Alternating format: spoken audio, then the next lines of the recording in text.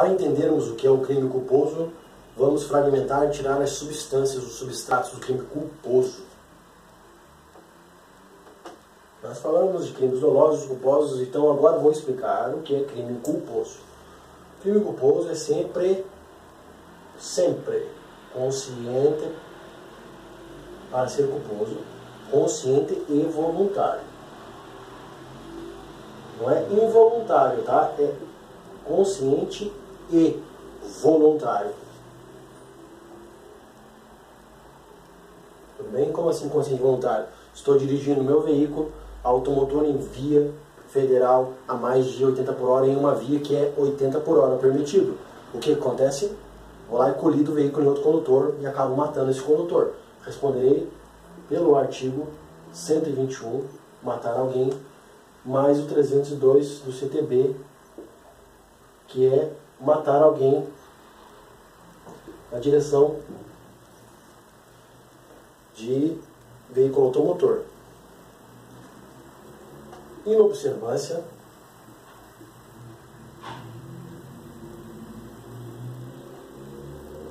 observância de segurança, tá? Dos cuidados necessários. Dos cuidados necessários para que não ocorresse algum problema. Então eu não observei cuidados necessários. Um exemplo pode ser do veículo, mas pode ser em residência também.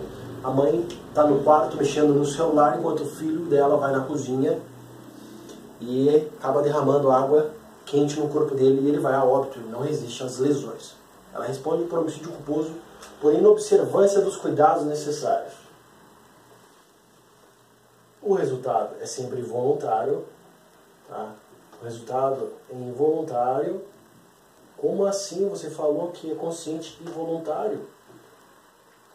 A ação, o ato de dirigir, o ato de colocar água quente lá foi voluntário. Mas a consequência é involuntária. Eu não esperava que isso acontecesse, porém eu corri o risco que eu não tive observância dos cuidados necessários. Então daí também ligaremos o agente à causa, nexo causal. Depois tem uma linha do tempo lá para compreender e descobrir o nexo causal, etc. E depois nós podemos adentrar nesse outro mérito. Tá?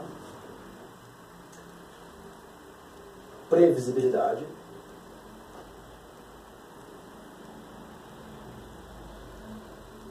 Era previsível. Não era, não era impossível de acontecer, era previsível. E é uma, um, um dos mais importantes que ele é típico. Como assim típico? Está em lei, né? O crime culposo está no artigo 18, inciso 2. Tá? Crime culposo. Então, consciente e voluntário, eu estou dirigindo o carro, eu matei, mas não foi causa minha, mas eu dirigi porque eu quis, eu fui voluntário em em pegar a mão no volante, eu fui inconsequente por não observar a, velocidade, não observar a curva, não observar a segurança de outrem, dos outros em via pública.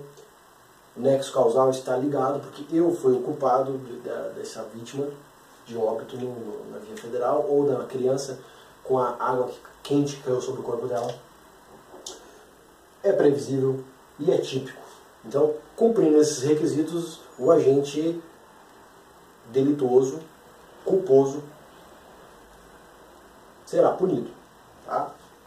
Temos ainda as modalidades dos crimes, do crime culposo, que é imprudência, não, imperícia, tá? vamos começar com imperícia, perícia, imprudência, imprudência, e negligência.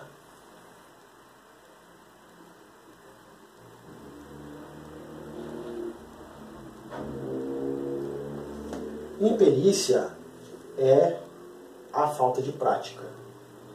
Falta de prática. Falta de prática. Prática.